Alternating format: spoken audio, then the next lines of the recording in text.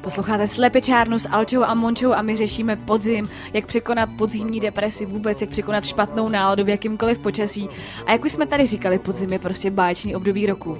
Co ty je myslíš, rozhodně, protože jak jsou ty sklizně, tak se sklízejí samozřejmě samý dobrý věci, ze kterých se ještě lepší věci dělají. Takže podzim je pro mě absolutně uh, období chutí. Samozřejmě chuťové buňky dostávají prostě zabrat. Podzim je takový, mně přijde jak zúčtovací období, jo. jak si zasadila, tak sklízí. To je pravda, to je pravda. Mnohdy teda to neovlivníš, protože někdy příroda není úplně tomu milostivá. A co máš nejradši třeba z těch chuťových teda záležitostí podzimu? Já víno, vinobraní. No, burčák, burčák, burčák úplně mm. moc nemusí, mě většinou po něm jako nebývá úplně dobře, ale... Mně chutná svatomartinský, já si počkám do listopadu 11. 11. když se prostě to vám, to vám startuje, to má Alča má narozeniny, všichni si pište, prosím vás, já ty takový náročný rádia. datum na zapamatování. Tak takže... já jsem taky štír, eh, když už jsme u toho, tak 8.11. Takže od 8.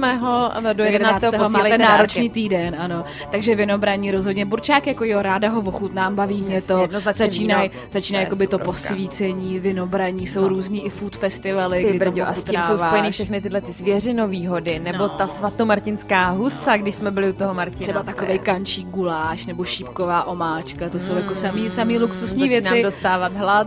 Takže jako já si myslím, že ano, je to pravda, nemůžete být tolik venku, musíte se víc oblíkat, tohle všechno si ještě pořešíme, co všechno na podzimu je prostě perfektní. Ale, ale je to, to hezký jídlo... navázat, jo, protože teď jsme si řekli, že cvičíme, ne, že budete jenom doma, budete chodit po různých uh, chuťových festivalech.